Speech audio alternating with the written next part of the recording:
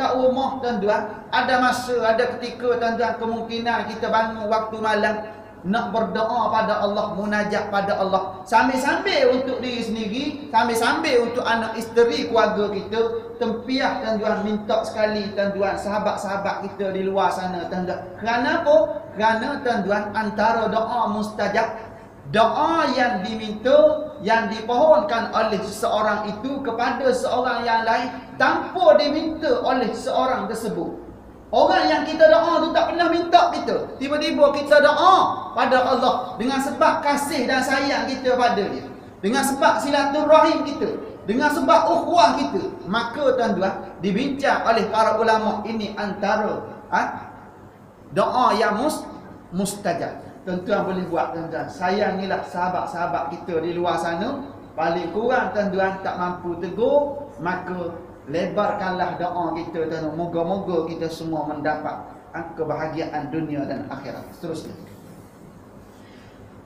Harus itu ialah suatu perkara yang sama sahaja sama ada melakukannya atau meninggalkannya sama. Kerana syarak tidak memerintahkan kita supaya meninggalkannya dan tidak juga memerintah kita supaya melakukannya. Suruh buat pun tidak, suruh tinggal pun tidak. Tak ada perintah syarak. Syarak ni siapa? Syarak ni Allah Subhanahu Wa Taala. Perintah Allah Subhanahu Wa Taala. Allah Taala tak pernah perintah, Allah Taala tak pernah larang. Tu benda apa tu? Benda harus. Benda harus tuan-tuan. Kan? Bahkan diberikan kebebasan kepada kita untuk meninggalkannya atau melakukannya. Bebas. Nak buat pun tak apa tak nak buat pun pun tak apa. Kan? Tapi kalau duduk main sia-sia ni umur berlalu rugilah umur tuan-tuan umur yang kita lalu malam ni tak akan berulang malam besok umur yang kita lalu malam besok tu yang malam besok punya. Kan malam ni inilah dia umur kita malam ni tanda. Inilah sekali seumur hidup yang kita lalui yang kita lalui saat yang seumpama ini tanda.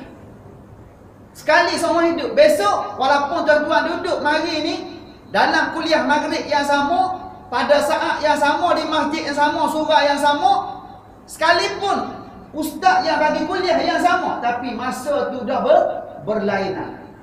Sebab tu kena rasa rugi tuan-tuan jangan buat benda si sia-sia tuan-tuan. Kalau buat hak macam ni tak apalah macam malam ni. Tuan-tuan. Macam malam ni ni alhamdulillah tuan-tuan. Kalau tuan-tuan mari masjid, mari surah tuan-tuan. Tak faham sekalipun apa yang disampaikan, tuan-tuan dah layak dapat keampunan Allah melalui doa para malaikat. Tuan-tuan layak dapat rahmat Allah melalui doa para malaikat. Allahumma gfir lahu, Allahumma Allahumma arhamhu. Kita layak lah. Sekalipun kita penat sangat. Lala sekali kita pun tertidur. Penat kan balik kerja. Kadang-kadang. Layak dah dapat. Layak dapat keampunan Allah. Layak dapat keberkatan daripada Allah. Hebat tak? Hebat di sisi Allah. Tapi kalau kita mari. Kita buka minda kita.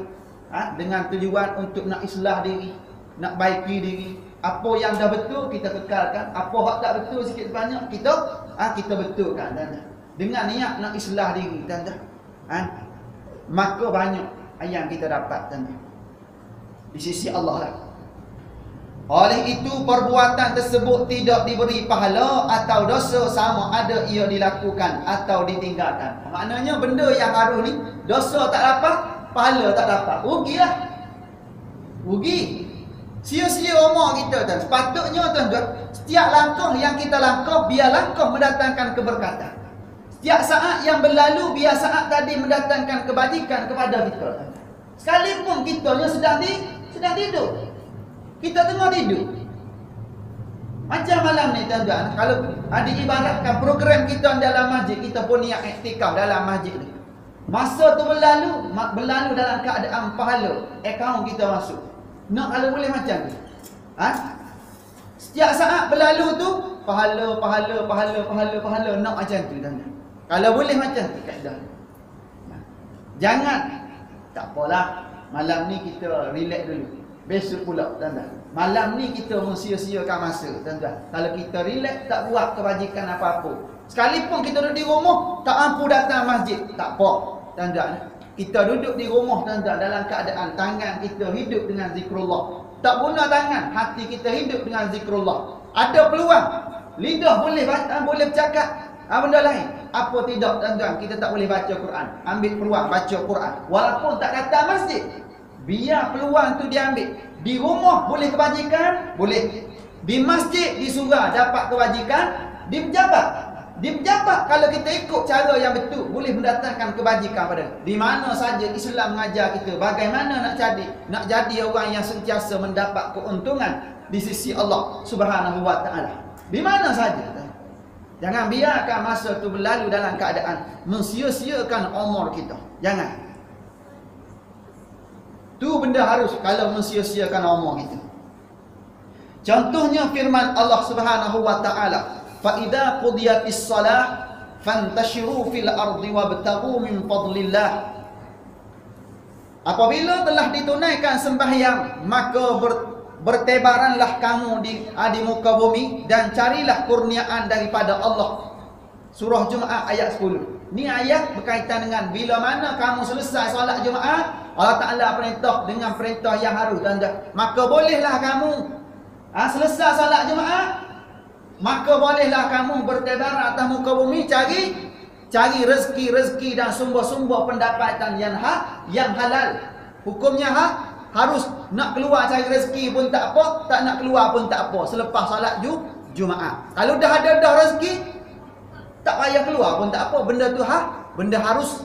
Tapi kalau tak cukup lagi boleh keluar tak? Boleh keluar. Pasal bendanya hak bendanya harus ketika itu. Kan?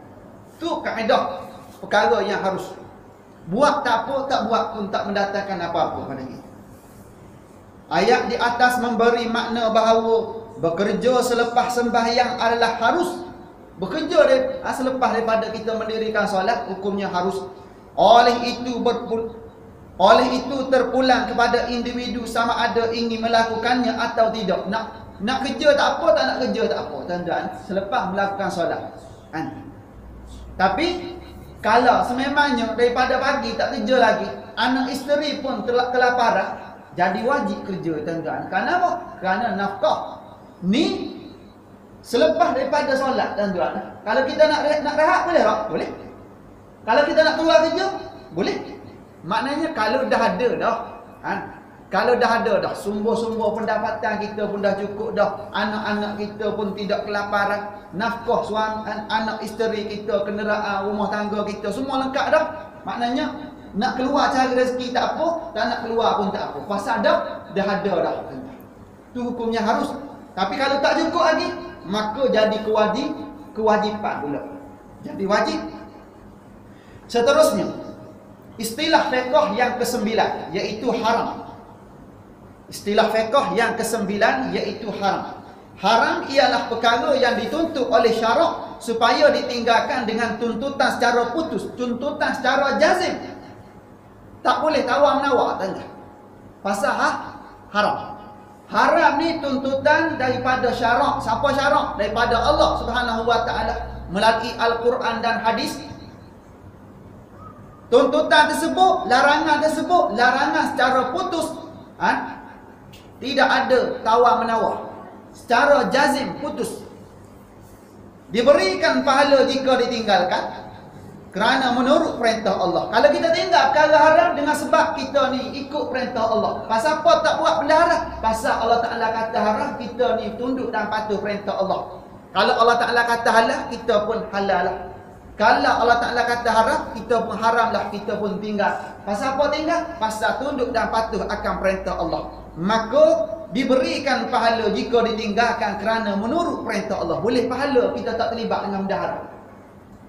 Kita tinggal benda haram tuan-tuan dengan sebab takut pada Allah. Dengan sebab ini perintah Allah. Suruh tinggal itu perintah Allah. Tuan-tuan. Ni larangan. Maka wajib kita tinggal tuan-tuan. Larangan Allah. Maka boleh pahala tak? Boleh pahala free-free tuan-tuan. Ha? Boleh pahala free tuan-tuan. Benda ada depan mata kita tuan-tuan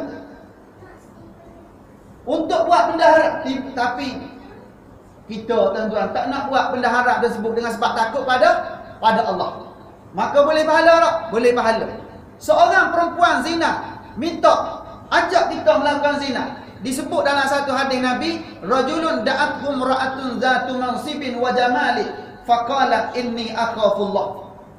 Seorang laki-laki tuan-tuan diajak oleh perempuan bangsawan yang cantik molek, berdahi licin, cantik, kaya raya. Tiba-tiba mengajaknya melakukan perbuatan zina. Lalu laki ni kata, "Inni akhafullah." Sesungguhnya aku takut pada Allah. Dia tolak pelawaan tadi. Perbuatan haram tadi dia tolak dengan sebab takut pada pada Allah. Maka pahala orang ni, pahala tuan-tuan. Pahala. Kita tak pergi tempat maksiat dengan sebab kita tahu ni tempat dosa. Boleh pahala tak? Pahala. Kita tak terlibat dengan ha, judi dengan sebab kita tahu judi ni haram. Maka boleh pahala kita tuan-tuan. Kita tak terlibat dengan risuah walaupun kita ada ruang ambil risuah tapi kita tak nak dengan sebab ni larangan Allah. Haram perbuatan. Maka boleh pahala tak kita tinggal? Boleh pahala. Riba pun sama juga kita tahu Ha? Riba ni sana sini boleh terlibat kan? Tapi dengan sebab kita dengar ayat wa ahallallahu al-bai'a wa harramar riba. Kita dengar Allah Taala menghalalkan jual beli, mengharamkan riba. Kita kata tak nak ambil riba pasal Allah Taala mengharamkan riba. Boleh pahala tak kita tinggal riba? Boleh pahala kita tinggal perbuatan tadi tanda. Kita tak terlibat dengan riba, boleh pahala free tanda. Kita semayang boleh pahala, tinggal perkara haram pun juga boleh pahala. Oh hebatnya kalau macam tu. Yalah kalau nak jadi orang yang hebat kena tahu ilmu macam tu baru jadi hebat. Kalau tak tahu tuan-tuan tu yang jadi kadang-kadang buat kadang-kadang ha, masa ha, diuji tu berubah sekejap lepas tu terlibat balik pasal apa? ilmu tak ada. Ilmu tak ada.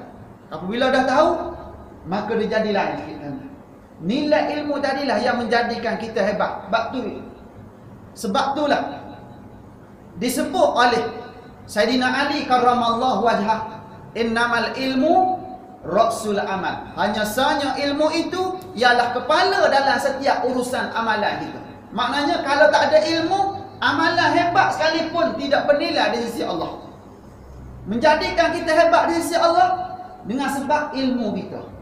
Apabila kita berilmu dan kita beramal dengan ilmu ha, maka hebat di sisi Allah Syarat satu lagi, ikhlas lah. Ikhlas memang tak boleh tinggal. Tak boleh nak tinggal, ikhlas. Pentingnya, ilmu. Nak azan? Masuk waktu. Kita berhenti untuk lawanan azan. Kita sambung lepas lawanan azan.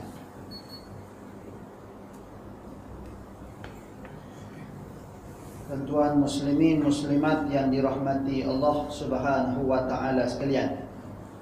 Haram ialah perkara yang dituntut oleh syarak supaya ditinggalkan dengan tuntutan secara putus. Diberikan pahala jika ditinggalkan kerana menurut perintah Allah dan dikenakan dosa jika dilakukan. Itu perkara yang haram. Kita tinggal boleh pahala Kita terlibat Terlibat dengan dosa kita. Contoh Seperti mana saya dah sebutkan tadi Contoh dalam kitab ni Yang pertama membunuh. Membunuh salah satu daripada perkara haram Dan salah satu daripada dosa ha, Dosa besar. Firman Allah subhanahu wa ta'ala Wala taqtulun nafsallati harramallahu illa